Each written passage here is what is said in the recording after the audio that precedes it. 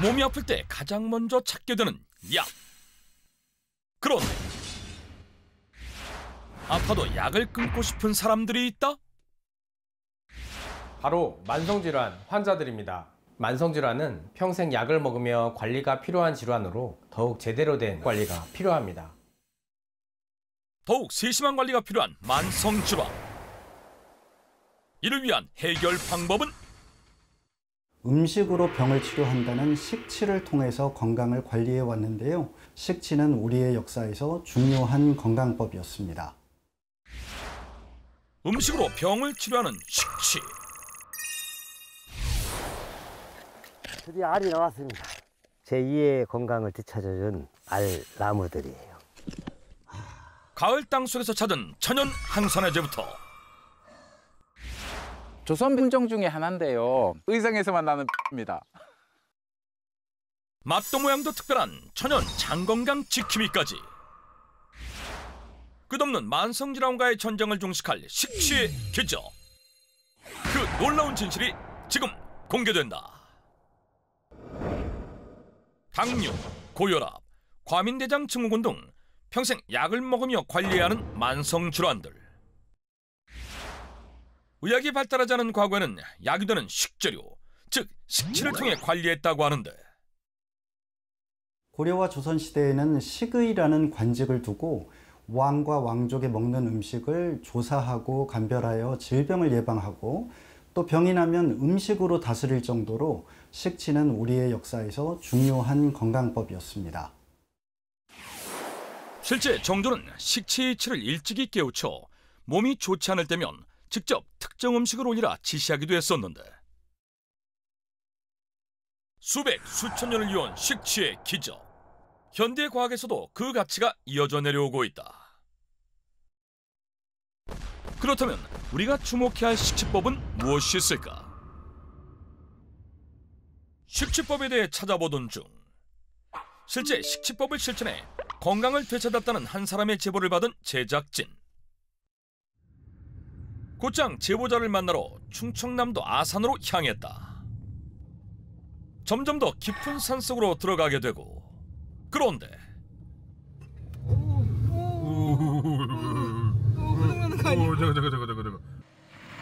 험한 산길에 차가 멈추고 더 이상 오르기 힘든 난감한 상황 어, 이 차로 안될 것 같은데? 차 놔두고 가야겠다 이거? 그러니까 망가질 것 같은데. 아, 결국 직접 걸어 올라가기로 결정.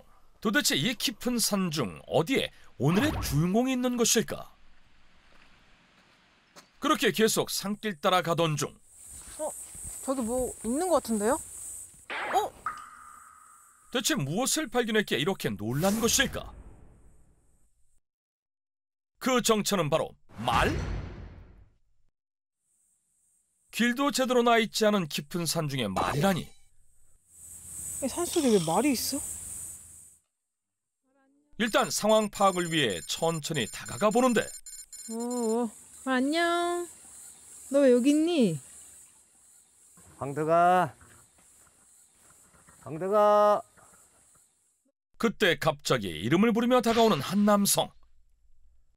흰머리와 수염을 기르고 거침없이 말에게 다가오는 모습이 마치 도인 같은 모습. 말 주인이세요? 네네네. 제가 여기서 키우고 있는 나의 동반자 황덕이에요. 근데 왜 산에 말이 있어요?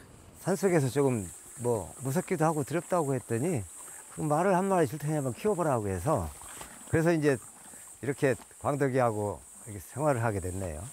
아, 혹시 제보 주신 분 맞으세요? 아, 네 맞아요. 어, 제가 그 생기머리 네, 이름이 김용관이라고 합니다. 안녕하세요. 네 반갑습니다. 산중에서 식치를 실천 중인 오늘의 주인공 김용관 씨.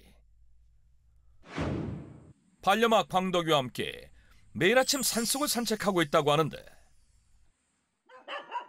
산책을 마치고 나면 외로운 산중 생활의 유일한 친구가 되어주는 반려마 광덕이를 마구간에 두고 집으로 향하는데 댕기머리에 반려마까지 범상치 않은 그가 살고 있는 집이 더욱 궁금해진다. 자 이제 다 왔어요. 저기 지금 보이는 곳이 제 보금자리, 제 안식처. 제 집이에요. 깊은 산중 한가운데 터를 잡고 있는 김용관 씨의 집.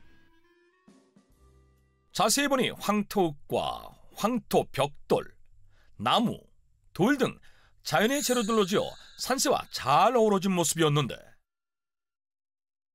제가 이곳에 딱 당도했는데 느낌상 제 몸을 치료를 해줄 수 있는 그런 장소구나 이렇게 느낌이 오더라고요. 그- 그때부터 보수하고 수리하고 제가 쉴 수 있는 공간으로 이렇게 준비해 놓은 것이 언 26년이 걸렸어요. 몸의 치유를 위해 들어왔다는 그에게 어떤 사연이 있었던 것일까? 초등학교를 졸업하고 스위터 따는 일을 했었는데 그 당시에는 이제 방에다가 기계 설치하고 거기서 세타를 짜고 밥을 거기서 먹고 잠을 자고 뭐 그래서 그런 건지 어쨌든 제가 뭐 몸이 좋지를 않았어요. 뭐 진폐증이라고만 이야기를 들었어요. 오랜 시간 좋지 않은 환경에서 일하다 결국 진폐증 진단을 받게 됐다는 김용관 씨. 진폐증이란 폐에 분진이 쌓여 염증을 일으키고 폐 기능을 떨어뜨리는 만성 폐쇄성 폐질환 중 하나로 악화될 경우 폐암으로 진행될 만큼 무서운 질병인데 당시에는 산에 올라갈 때 사실 10m도 이렇게 제대로 걷지를 못했었어요. 조금만 산을 오르면 뭐 기침이 나고 숨이 막히고 이럴 정도였었는데 자연 속에 들어오면 몸을 좀 치료를 할 수 있을까 해서 자연을 택했죠. 뭐 사실 살러 들어온 거죠.